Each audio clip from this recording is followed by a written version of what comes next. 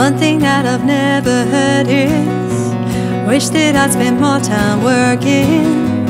I've learned if you need something done Then ask the busiest someone. And I know that the best advice Comes from the ones who've done the last Just like my mama says to me Be everything you wanna be.